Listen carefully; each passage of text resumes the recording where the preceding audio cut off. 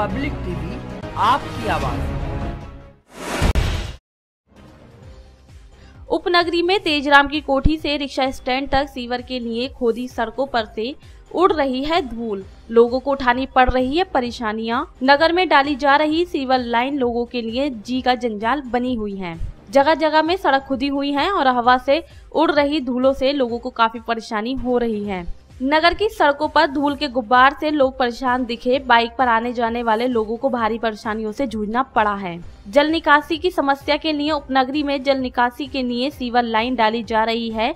Sewer का कार्य पूरा हो चुका है। इसके अलावा जिन स्थानों पर सीवर लाइन का कार्य पूरा हो चुका है, वहाँ पर सड़कें पूरी तरह से टूटी हुई हैं, जिसके चलते हवा से उड़ रहे धूल के गुब्बार से लोग पूरी तरह से परेशान हैं। दोपहर में तेज हवा चलने से नगर में धूल धूल ही दिखाई देती है। सड़कों पर चलने वाले लोगों को भारी परेशानियों से जूझना पड़ता है। भैजोई रोड की तरफ़ से निकलने वाले लोगों का धूल ने बुरा हाल कर दिया है। हालाँकि बीच में लोग अपने समर सेविल से सड़कों पर छिड़काव कर रहे थे, मगर कुछ ही घंटों के बाद लोगों को फिर धूल से गुजरना पड़ा।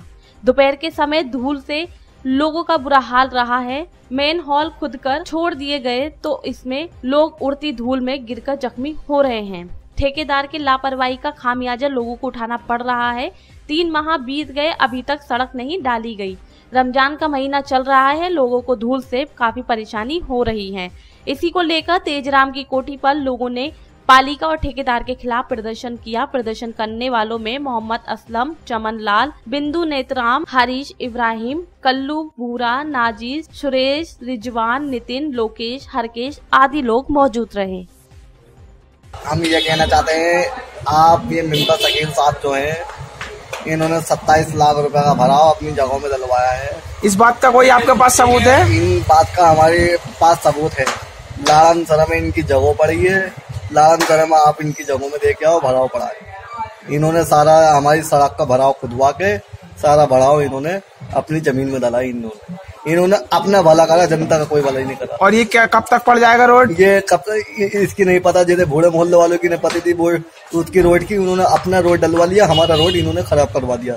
जैसा रोड था हमारा ऐसा ही होना चाहिए था। इन्होंने हमारा रोड ऐसा खराब करवाया ऐसा खराब करवाया चार आदमी आते हैं चार आदमी हमें गाली बकते हैं।